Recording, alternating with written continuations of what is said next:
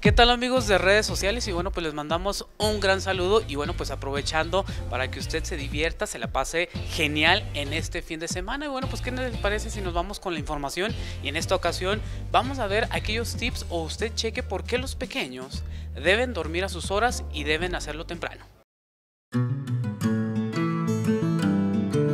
La mayoría de los niños tienen días ajetreados Van a la escuela, cuidan sus mascotas, corren, juegan, practican algún deporte, tareas, van al colegio, platican, se divierten, pasean, comen. Al final del día, el cuerpo necesita descansar para el día siguiente.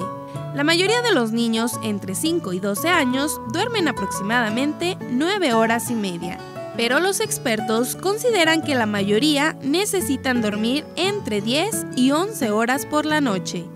El sueño es personal y algunos niños necesitan dormir más que otros. El no dormir las horas adecuadas podría ocasionar algunos problemas, entre ellos mantener los niños malhumorados, cansados o que no puedan pensar con claridad, ocasionar peleas con amigos, entorpecer sus labores e incluso no podrían crecer de manera adecuada. Dormir poco puede afectar el crecimiento y sistema inmunológico que es el encargado de evitar enfermedades. Así que a partir de hoy, trata de que tus niños duerman lo más posible y que sea temprano.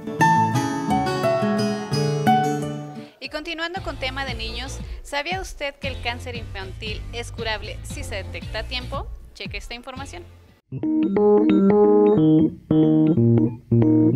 Agradecemos a toda la gente que, bueno, pues está al pendiente de las redes sociales de Despierta y es que en este momento vamos a hablar de un tema muy interesante y pues para eso está con nosotros el doctor David Alejandro Montoya, que bueno, vamos a platicar de pues una enfermedad que yo creo que a todos nos asusta y hablar en los pequeños pues aún más. Estamos hablando del cáncer infantil. Lo que es de la semana del 13 al 17 aquí en la República Mexicana pues está trabajando acerca de la capacitación intensiva. Ellos, eh, las madres responsables o los padres responsables de nuestros pequeños deben estar buscando cada vez que los cambian, cada vez que los bañan, eh, signos y síntomas como son petequias. Las petequias pues son eh, puntitos rojitos en los cuales se parecen mucho a las pecas.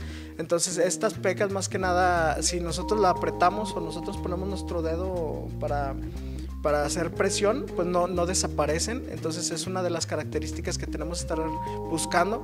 Otra de las características pues son eh, moretones sin causa aparente. Otro pues es dolores de cabeza sin, sin causa aparente. Fiebre de difícil control. Más que nada, si tenemos alguno de estos signos y síntomas, tenemos que ir inmediatamente a, a nuestro centro de salud más temprano. Otro es la palidez que nuestro niño esté cansado, desfuerzado, sin causa aparente. Eh, otro son las bolitas, las llamadas eh, adenomegalias. Esas adenomegalias pues pueden estar presentes en el cuello, en la ingle, en lo que son las axilas. ¿En donde pueden atenderse los niños? Pues en el Hospital General Zacatecas. Ahí es donde primero nuestros pacientes tienen que ir, por supuesto, a un primer nivel de atención, a su centro de salud más cercano, a su clínica de IMSS más temprano, más cercana, y ahí es donde el médico pues es el que va a decir pues si necesita algún estudio complementario para la sospecha de este padecimiento y si efectivamente es sospecha de cáncer, pues se envía al Hospital General Zacatecas. Muchísimas gracias nuevamente, doctor. Y bueno, pues nosotros seguimos con más información. Siga checando las redes sociales aquí en Despierta. Continuamos con temas infantiles y es que ustedes saben por qué los personajes de caricaturas usan guantes blancos. Aquí se los decimos.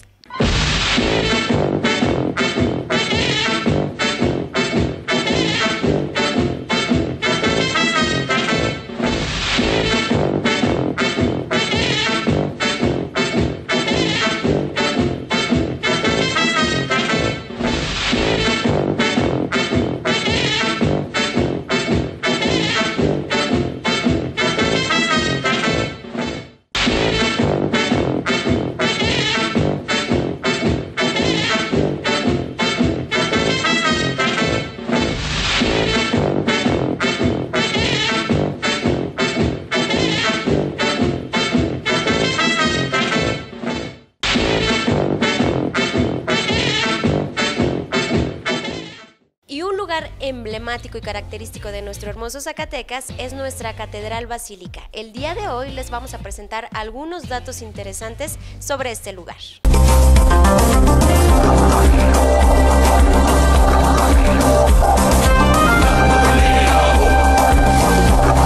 Para mí todo es bello por, um, porque es la casa de nuestro padre. Pues es bello todo, todo por dentro y por fuera. Oh.